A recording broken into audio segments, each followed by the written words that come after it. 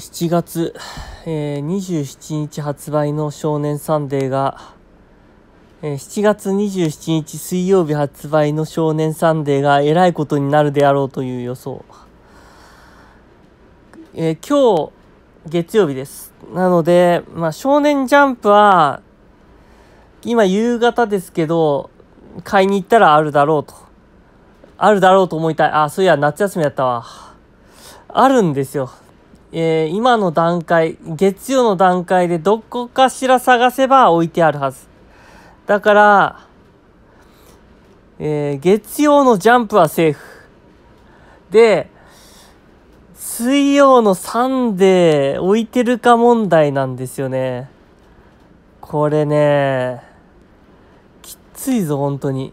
サンデーはマジでない。コンビニだったら、もう朝だな。うん、朝、朝なんとか手に入れられるかどうか。もう多分昼には置いてないと思う。しかも夏休みだしね。とりあえず、えー、っと、この今から少年ジャンプ買いに行ってきます。あの、一冊、自分の別に転売とかじゃないんで、一冊手に入れば、まあよし。うん。これはね、大変ですよ。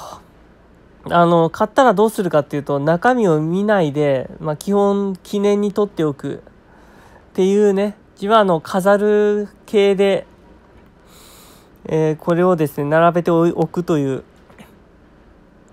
そういう趣味のもと集めるんで、うん。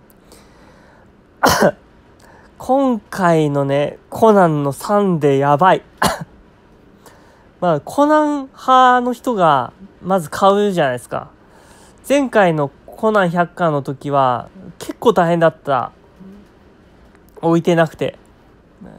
でもね、ちゃんとね、手に入れることができた。でも、今回何がやばいかって、あの、ワンピース派も買うっていうね。ワンピース派、コナン派、両方が、この少ない少年サンデーに群がるという。ここがね、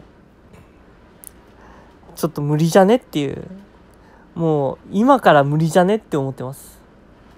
どうしよう。しかもな、夏休みだからね。大変ですわ。これ増刷してないだろうしね。うん。これ面白いね。やっぱすごい。合わせる、合わせてるのがすごいわ。もうね、デザインがね、パない。デザインがパないんだよ、これ。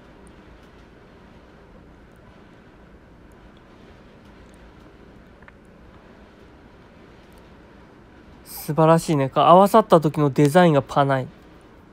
あの、あれよ、あの、フォントもね、うん、見せ方をね、すごくね、マジで。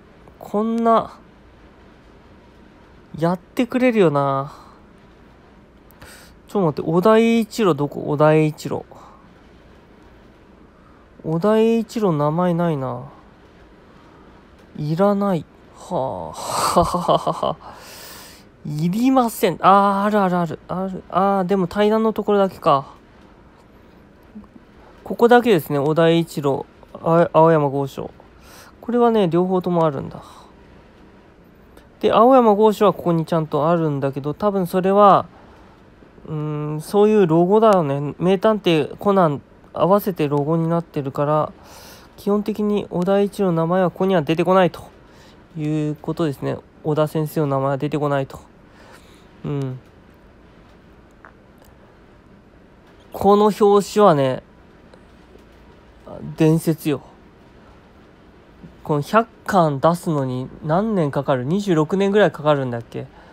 その2作家が合わさるっていう伝説。で、この伝説にうまく乗り込めたルリードラゴン、坂本デイズ。この辺よね。まあ、夜更かしの歌、夜更かしの歌。え、早々のフリーレン。この辺だろうな。